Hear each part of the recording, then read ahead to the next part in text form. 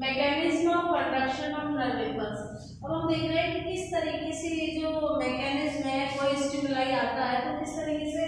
Message हमारे पास पहुँचता है ब्रेन तो उसके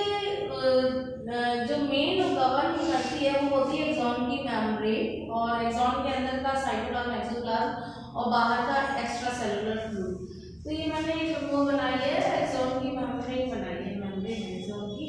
अगर हम देखें तो मेमोरी के बाहर की तरफ़ पॉजिटिव चार्ज होता है अंदर नेगेटिव होता है नेगेटिव अंदर क्यों क्योंकि अंदर क्लोराइड आयन है और बाहर पॉजिटिव क्योंकि एक्स्ट्रा सेलुलर फ्लूइड में बाहर पोटेशियम और सोडियम आयन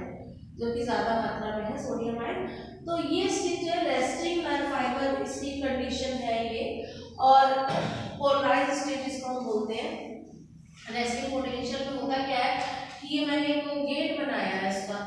कि इनएक्टिव स्टेट जब तक स्टिमुलाई नहीं मिला है, तब तक रेस्टिंग पोटेंशियल में कंडीशन क्या होगी. तो आप देख सकते हैं कि ये